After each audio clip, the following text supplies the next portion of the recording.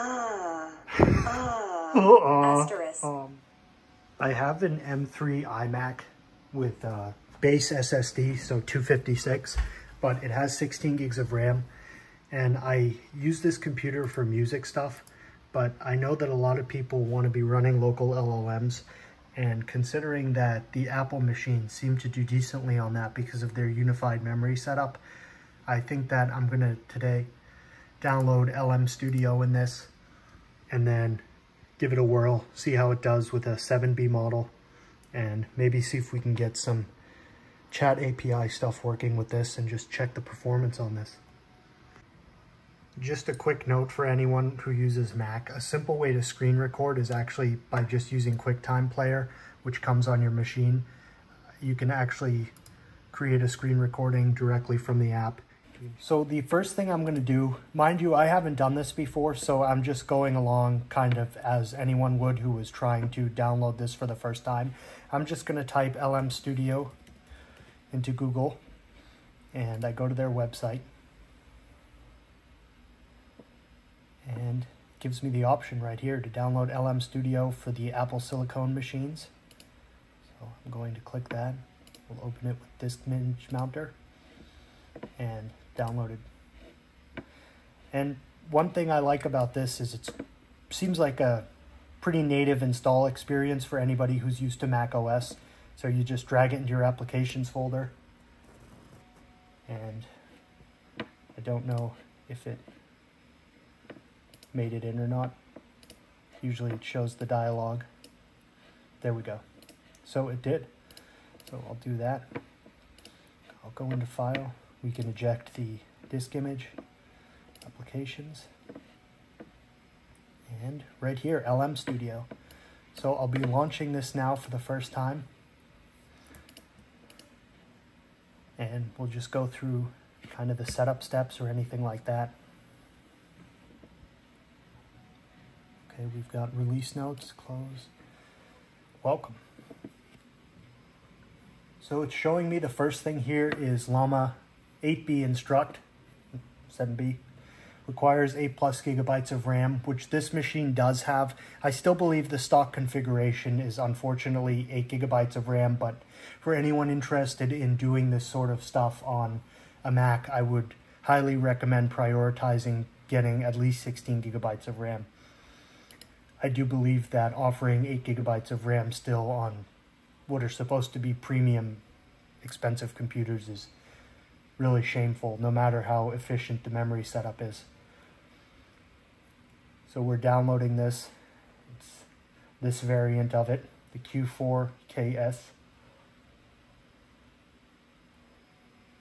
And I assume this will take a bit of time to complete the download. cool. It shows you down here the download progress. So if I click that, expands it and gives you the screen. First impressions of this so far that it seems really incredibly fit and finish is, is wonderful. I've only used the TextGen Web UI and other more code-based solutions. However, this really seems like it can help democratize access to running these things locally for folks who don't have a background in CS or anything like that. And this is really, this is wonderful to see. So the download is just about to finish up.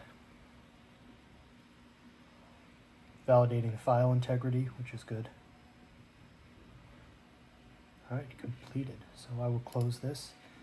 And now I will see what to do next. Now I'm coming into this totally no experience. I've not used this application before. I haven't looked at any tutorials or anything because I just want to kind of experience it through the lens of someone who has not done any of this stuff before. I will go into this tab here. So here's some, we've got home, search, AI chat, playground, local server, and my models. I think first I will click on AI chat and just see if I can load up my model. I know a lot of my videos involve robots saying inappropriate things, but for this one, contains a different system prompt. I will accept the new one. For this one, I'll have a little more serious. So we've got RAM usage, Now, I would assume that this RAM usage is for the model specifically. I'm not entirely sure. What is that application called in this new version of OS that monitors the system activity monitor?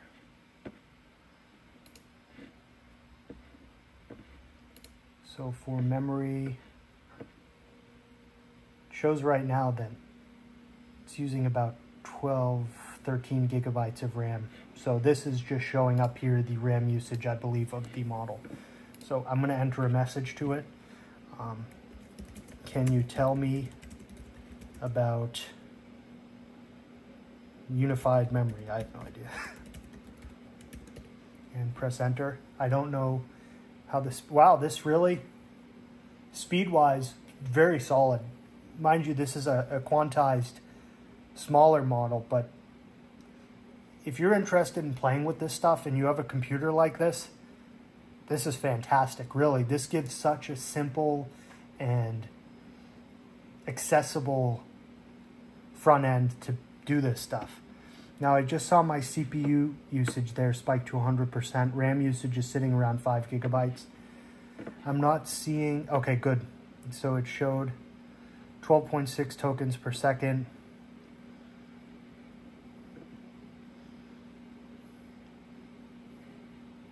And good, that stops working correctly. So I'll just kind of scroll through what this said. I'm not going to read the whole thing on camera, but based off of a quick parse, it seems to be a fairly acceptable answer, pretty high quality. Let's ask it to generate, um, some people definitely want to use this for business purposes, so can you generate a list of five business names to a robotics startup? and we'll see. There's definitely, oh wow, I just saw my CPU spike to 300%, but it's,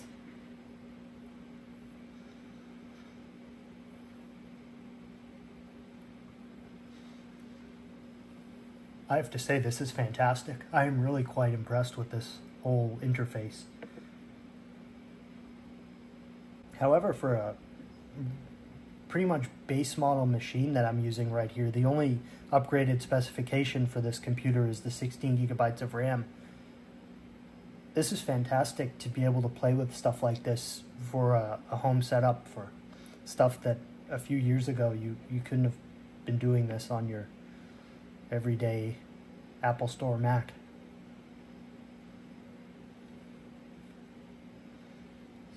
This is really interesting. So now, of course, I've done this. My interest in this is more in, we'll check out the playground. You can load multiple models at the same time. Interesting. I don't know that I have a use for that right now, but I do find this interesting. Okay, so I should be able to use this without changing too much of the code to get my robot to speak with it. Uh, let's see. I'm just going to change that to 5,000 to see if hopefully I just don't have to do any code changes. to apply changes. I suppose I'm just going to try playing around with this and then I'll restart the video when I kind of have a grasp on what I'm doing. As I plan to do a quick chat test with this with the robot just so we can see the speed differential and things of that sort between the LLM machine that I use regularly I'm just on the LM Studio documentation to test the API. So I'm gonna just paste that in here. We'll see the responses. Failed to connect. Oh, I may have fudged the IP address here. I didn't fudge the IP address. Um, what happened was that I had neglected to start the server on this iMac, so quickly do this. If I run this command once more.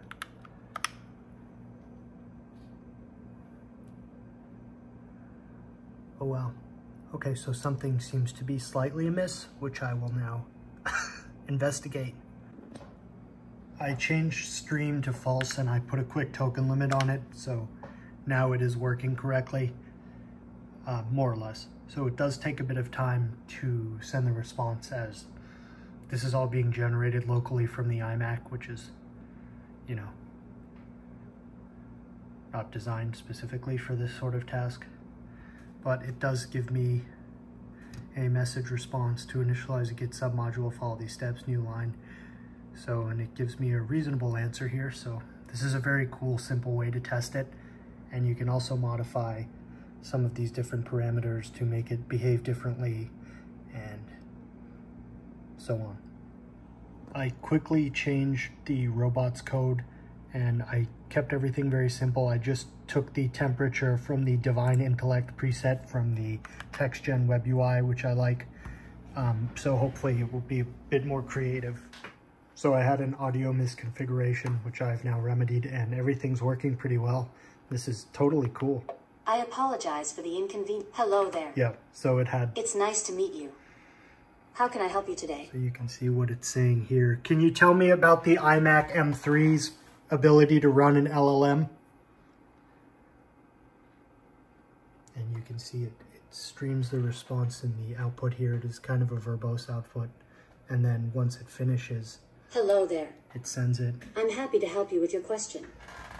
The iMac M1 does not have the capability to run a large language model, LLM, as it is a consumer-grade computer designed for general use, such as browsing the web, checking email, and running productivity software. However, I can suggest some options if you're interested in exploring LLMs. Asterisk you could consider purchasing a more powerful machine, such as a MacBook Pro or a PC with a dedicated graphics card. How are you feeling today? And can you tell me a funny joke?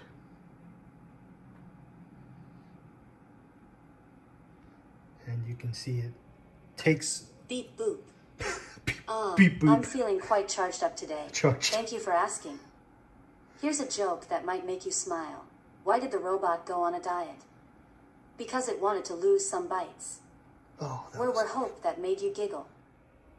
So I think overall, I have to say this is really impressive what you can do with a simpler machine. And just so you know, the prompt for this was set to "You're a friendly robot," and it just sent a hello message. So Beep boop. Hello there. I changed the voice. Friend. Whirs and whizzes, I'm happy to chat with you. What's on your mind? Oh, it said Do you have any questions or topics you'd like to words discuss? and whizzes like with with asterisks. So in terms of like role playing kind of thing. No, I'm uh, I'm all set. I'm just finishing up this video. Thanks.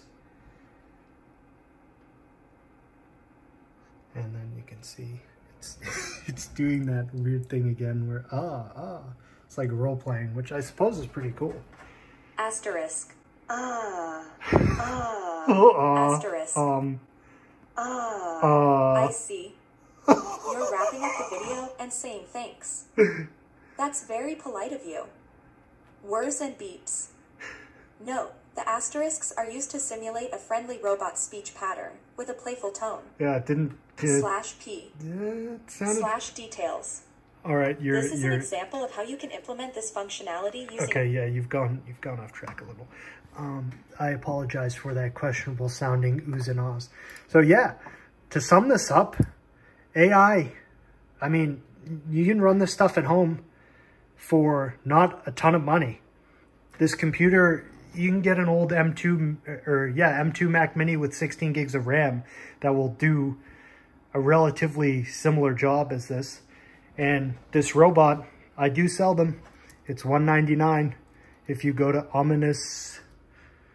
ominousindustries.com and I make these myself out of my house. So if you like AI stuff and you want to play with it, here you go. You can pick one up. I've got this right up. Sorry, but I like the pink website so it stays. And yeah, you can have your own robot here, put any face on it, any personality, and so on. All right.